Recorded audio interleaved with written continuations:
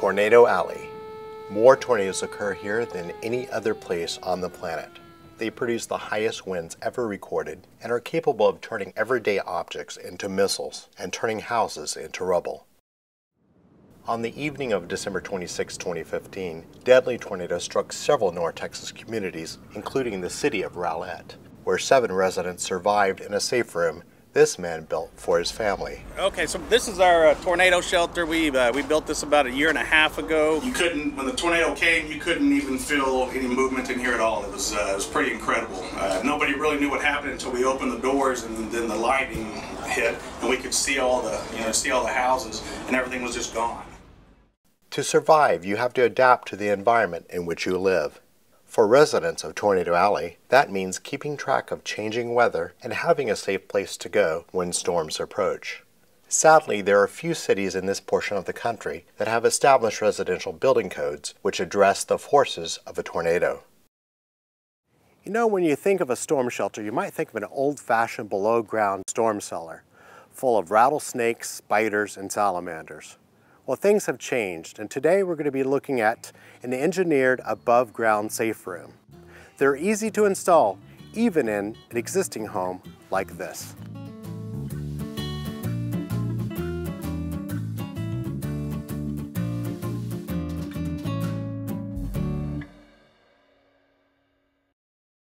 Thanks to careful engineering, there are convenient shelter options available today. In this episode, I'll introduce you to the above ground manufactured safe room. You can place it almost anywhere in your home or office. They come in many sizes to fit your needs. For my home, I selected a 4x7 foot shelter which provides enough space for my family, dogs, and two lucky friends. 1,800 pounds of sexy A36 steel arrive on a flatbed, courtesy of Missouri Storm Shelters, who designed and manufactured the unit. The team will install the safe room in the corner of my garage. This safe room features extensive internal skeletal framework and continuous welding along the top and bottom. 15 base bolts measuring 3 quarters of an inch in diameter anchor the unit to the foundation, which is constructed of steel reinforced concrete. Pull-out strength is over 10,000 pounds per bolt, with a shear strength of 17,000 pounds each. These specifications exceed the forces that would be placed on the safe room during an EF5 rated tornado. One of the key components of this shelter is the door. And of course the door has to be just as strong as the rest of the safe room. You start with a basic latch, which isn't enough. It just closes the door and holds it closed slightly. But the real protection comes with these bolts. We've got three of them here. You activate them, and what you end up getting is a very strong closure. So why does the door open inward like that? There's a very good reason. It's called entrapment. That's something that we don't want.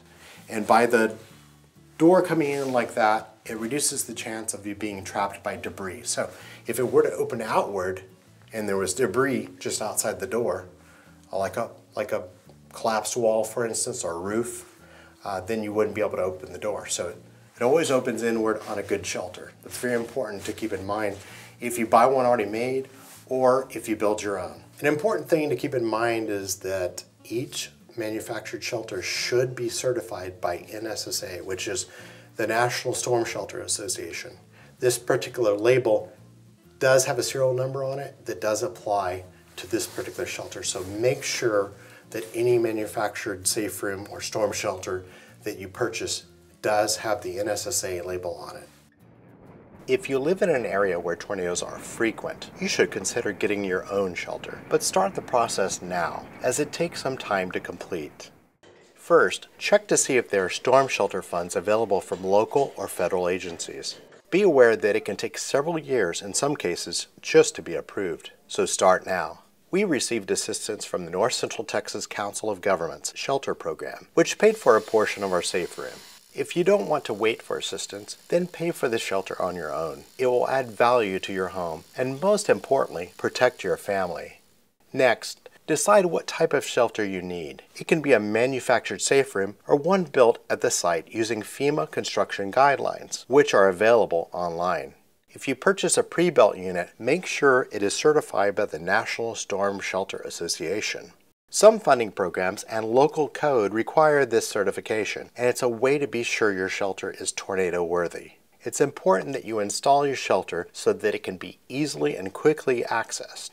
I strongly recommend it be accessible directly from the interior of your home or business. Finally, make your shelter a comfortable place to be to encourage everyone to use it when storms approach.